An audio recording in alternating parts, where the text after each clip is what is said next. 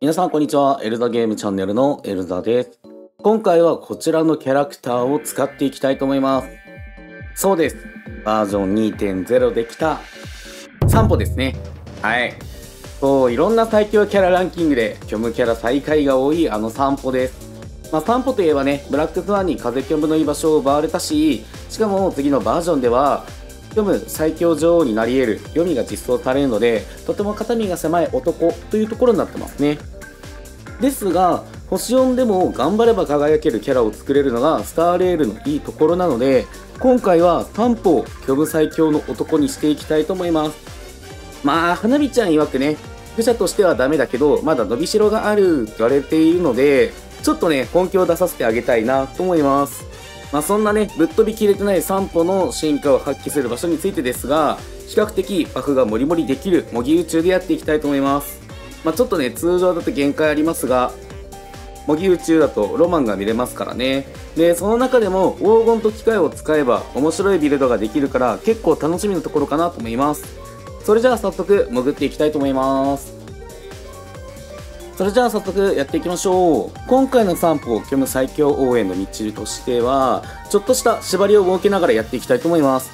正直、虚無の運命使っていくと、持続ダメージだけで火力が上がってしまうので、ちょっとね、今回の企画としては、それはなしとしていきたいと思います。まあ、最強というからには、拳でダメージを出していきたいところなんですよね。なので、今回強化する部分としては、攻撃力、会心、よだめを上げていきたいと思います。まあ、攻撃力に関しては、壊滅祝福と HP 減による攻撃力アップを狙っていきます。会心系は順次で稼ぎたいと思います。特に順種に関しては、会心だけではなく EP や速度があるので、そこも欲しいところですね。まあ、ただここに関してはランダムなので運に任せたいと思います。最後によだめです。よだめに関しては器物やサイコロの効果で上げていきたいと思います。さて、オープニングでさらっとゲットしていましたが、器物で当たりを引いていましたね。そうです、平和の代価です。で、今回はこれを最初に狙っている時点でお気づきかなと思いますが、カスタムサイコロのカンパニービルドで今回は散歩の強化をしていきます。まあ、カンパニービルドを知らないという方に簡単に説明をすると、カスタムサイコロをカンパニー時刻を使用する。サイコロの面を取引重視にする。最初の器物選びで平和の代価を狙う。ひたすら取引エリアで買い物をするという流れになります。なので動画の大半が買い物になるかなと思います。まあ、結構ね、こんな感じで戦闘もしつつ、取引マップを増やしながらさらに買い物を重ねていくっていうとこです。で、まあ、買い物するときはね、あの、祝福ではなく、最初の方は器物を回収し始めますので、まあ、器物回収の時間が多いかなと思います。最初の器物リセマラさえしっかりできれば簡単に強化ができるので、模擬宇宙の攻略をする上ではかなり楽なビルドかなと思います。こちらで最初は器物をしっかり集めながら、かけらも増やしていきたいと思います。祝福は次元2から集めても十分整えますので、この辺りは気にせずいきます。で、ここで器物を大量に買い集めていますが、準備のローブが出たら積極的に購入はしていきます。逆に虫歯については次元階3で出ないとあまり効果を発揮することがないので、まあ、かけらの数次第ですね。なので、この辺りはまた3に出ることを祈って進めていきたいと思います。はい、それでは、器物の方もね、集まっていい感じになってきました。次元階1に関しては買い物さえしっかりしてれば、それなりにパッシブのよだめが確保ができるようになっています。で、今回のパッシブなんですが、だいたい84%ぐらいですかね。それぐらい溜まってます。まあ、よだめとしては十分かなと思います。それでは、次元階1の3歩の性能と火力を見ていきたいと思います。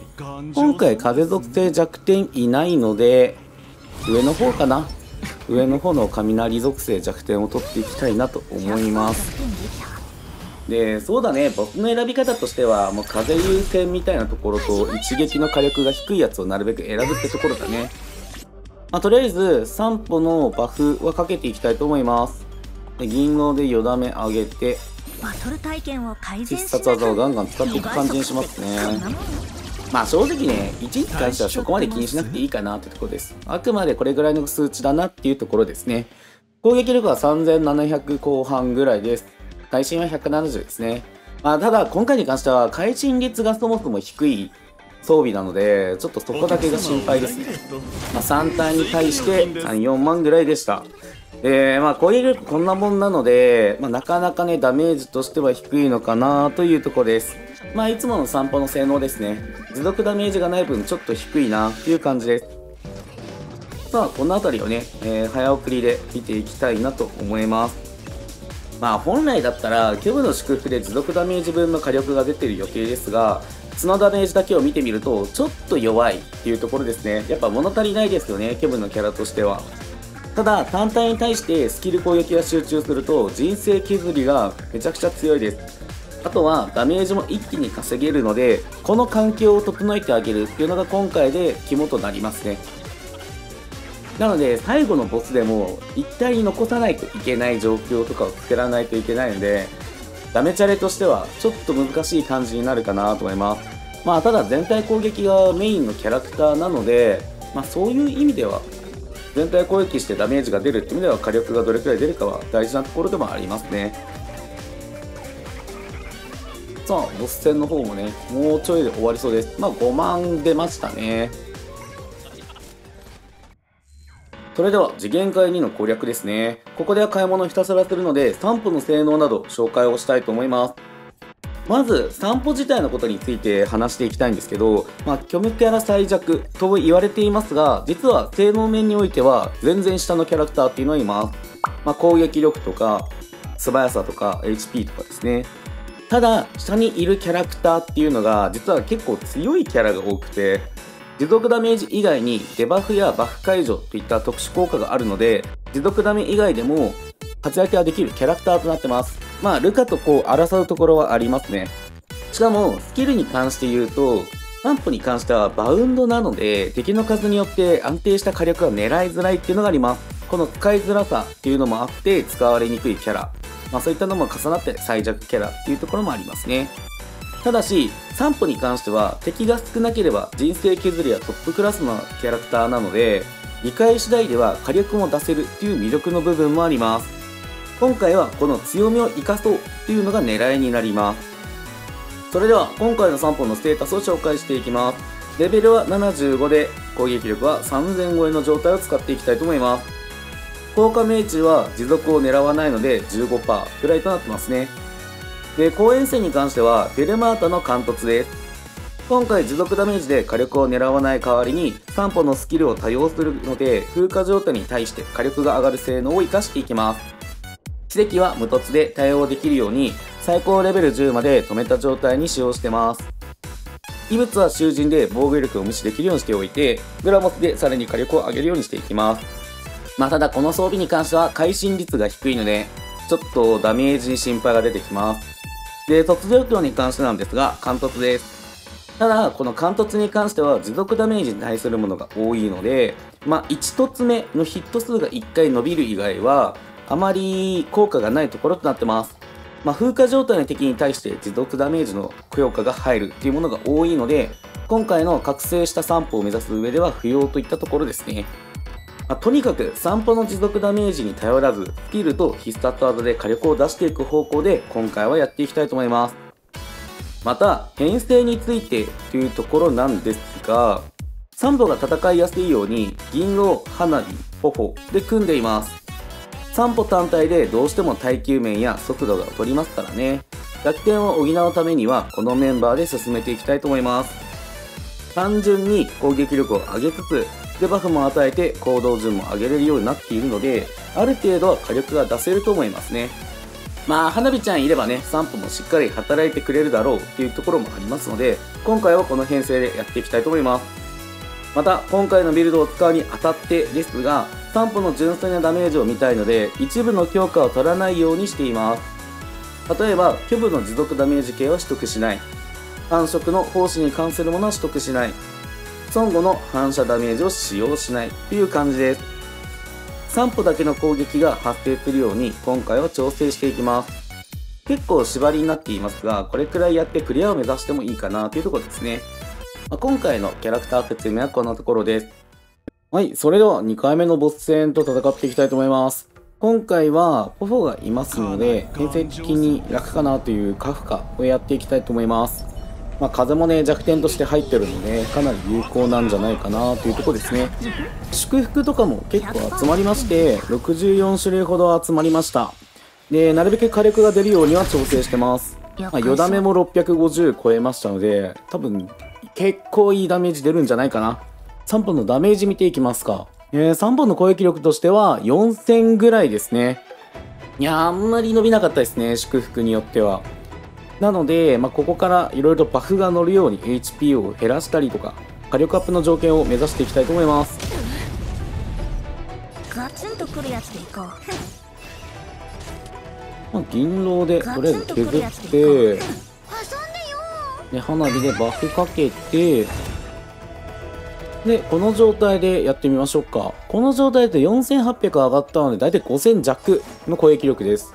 会心とかあまり伸びずっていうところですねおお9万出た。じゃこれで必殺技使うと。2体に20万と。まあ1体10万ぐらいかな。まあオーバーキルした分減るのでまだ出そうな気はします。さあこのまま様子見ていきましょうか。さらにちょっとねダメージ出るといいかな。まあ、今の状態が一番ダメージ出るかな。おお30万出た。い。いねバフかけてたらもうちょっと出たかもしれないね。必殺技は？20万。まあ必殺技やっぱそこまで出ないか。もう一発は、まあ、配信出ないと5番だね。まあちょっとこの辺り差が激しいなーっていうところか。まあ攻撃力は上がったんだけど、やっぱりちょっとね、やっぱ会心ダメが低いときついなーっていうところね。まあこれで会心率が高ければ倍率的には上がりそうな感じはするんだけど、ちょっとちょっと悩むね。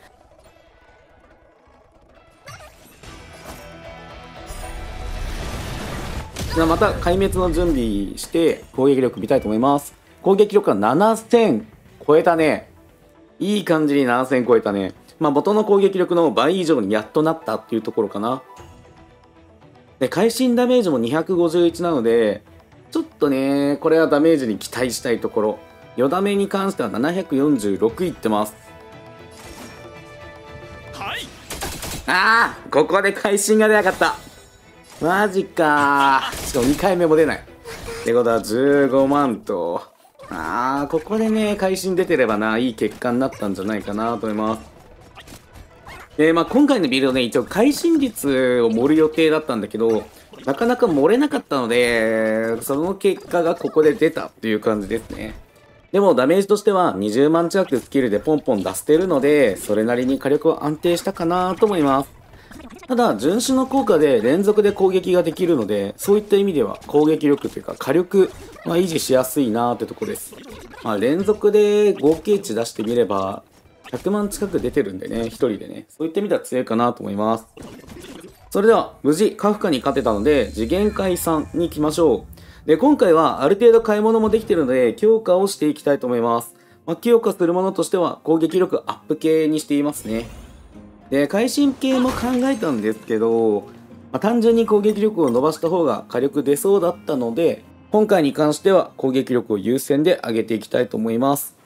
まあ、とりあえずね、会心系は会心系で、まあ、ダメージが出るのはもう分かってるんで、とりあえず攻撃力を上げるだけでどこまで持っていけるかっていうところだね。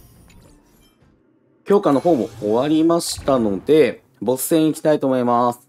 で、今回のボスはスウォームの方ですね。ちょっと火力に不安はあるんですが、全体攻撃ができる散歩なので、まあ、期待してやってみたいなと思います。風の弱点がないので、この辺りは銀狼頼りですね。さて、こっからが、まず本番ですかね。まあ、無事クリアできるといいなっていうのが第一だね。会心漏れてないんで、100%弱点でさあやっていきましょう。まずは銀狼でデバフかけて防御力も下げちゃいましょう。で花火でバフをかけて、まあ、この状態。大体5000円ぐらいでね会心は242となってます。まあこれは基本的なところかな。さあ見てみましょう。単体でどれくらい出るか。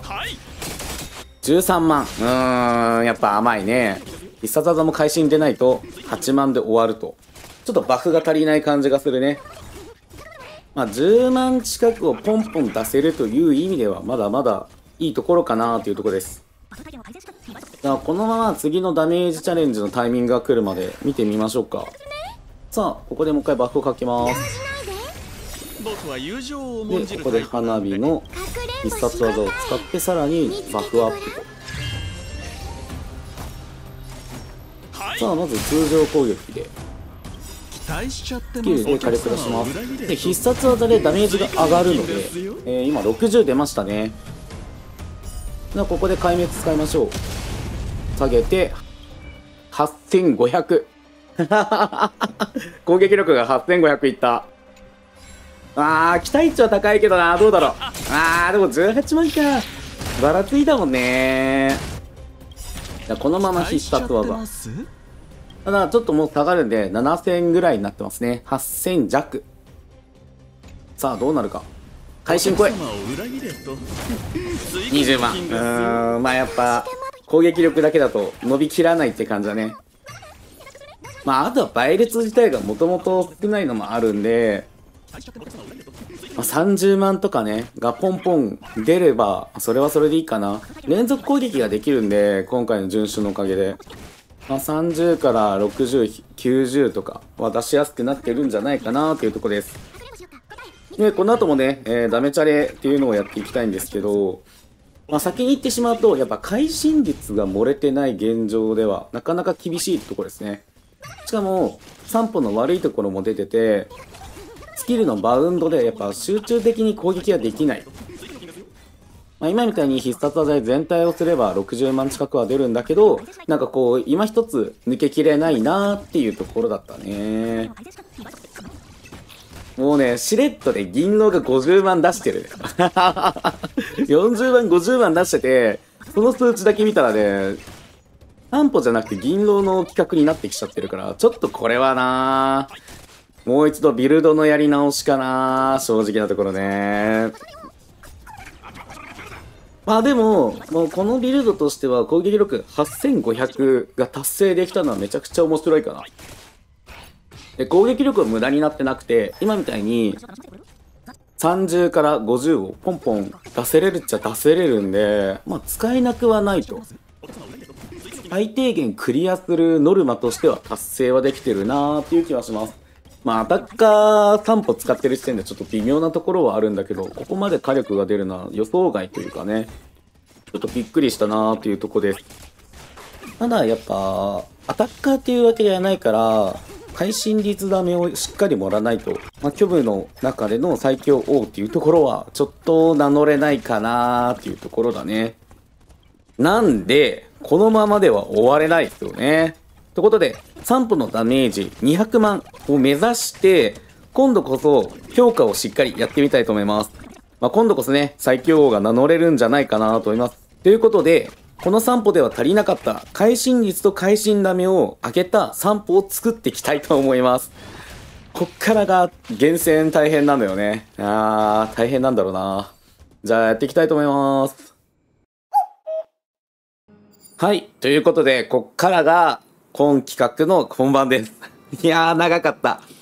はい、覚醒散歩ですね。えー、やっていきたいなと思います。まあ、いろいろとね、取れるものは取ったりとか、あの、虫歯がね、タイミングよく出たりとかできたんで、えー、今回こそはいいダメージが出るんじゃないかなと思います。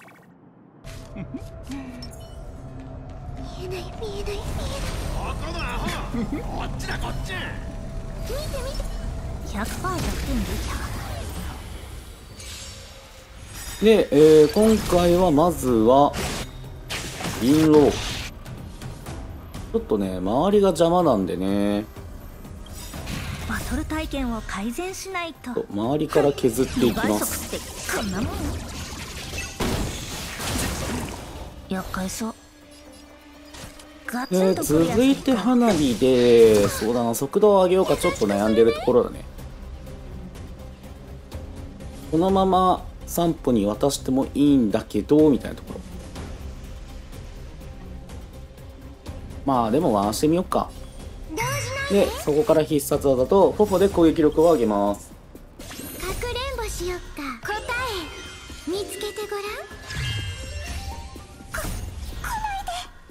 さあこれである程度攻撃力アップができました。で、えー回復によって攻撃力が上がるっていうのがねこれで攻撃力アップをしてます。でこの状況で攻撃力は5500会心が700 で会心率は80弱。めちゃくちゃ高くなってます。でまず必殺技で攻撃力アッププバフをつけます。この後の攻撃力が火力が上がるってやつですね。で3体なんですが150万出ました。で壊滅でさらに HP を下げて攻撃力は7000突破と会心率も85会心ダメは719で、よだめに関してなんですけど、こんだけ多いんでどれくらいあるのかなってやったら、驚異の1144.7%。やばい。マジでやばい。計算してる時ね、めっちゃテンション上がった。で、やることとしては、何か新しいことでも始めません？84万。あー、100いかなかったねもうちょいバフがうまいこと乗れば。あー、つか？100万いけたかな？大台いけたかな？ってところです。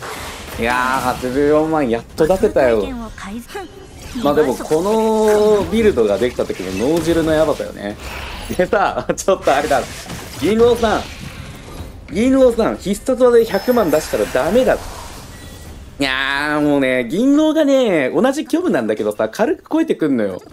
まあ、星5と星4の差はここで見せつけられてるって感じだね。あとはね、散歩やってたんだけど、銀狼の、この、模擬宇宙適性がやっぱ高いなと思ったね、改めてね。じゃあもう一度ね、ダメチャレしたいんで、このまま見ながら、チャンスが来るのを待ちましょうか。いやー、でも銀狼がマジでやべえなちょっとね、銀狼にダメージ負けてるからね、まだ最強は名乗りづらいよね。男の中でだったら一番なんだろうけどね。さあ、ガンガンバフ盛りましょう。準備準備。まずは、銀狼で次は防御力自体削りましょうか。かくれんぼしよっか答えで、花火のバフ。ガツンとくるやつでいこう 優しくする僕は友情を重んじるタイプなんで。さあまずは必殺技。お客様を裏切れと。追加料金200万。197万出た。もうこれは200万だ。うわー出た出た。数が多かったからっていうのもあるけどこれはやばい。200万出た。